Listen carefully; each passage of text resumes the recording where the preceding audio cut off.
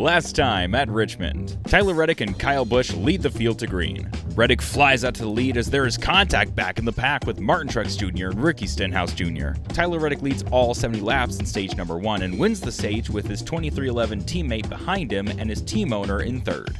Reddick and Bubba Wallace lead the restart and they stay side by side for the entire first lap until Bubba Wallace pulls away to the lead. That is until his car gets loose and he has a bad pit stop.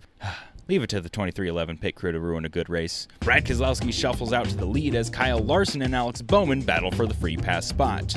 They're side by side, but Bowman has the jump on Larson and Bowman gets the free pass.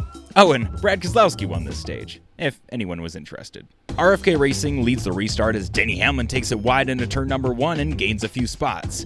Oh, look, 23XI continues to fumble this race, taking after their car owner, I see. Chris Buescher takes the lead from Truex with around 50 laps to go. He starts to pull away and gain a significant lead, but too bad Noah Gragson was in this race.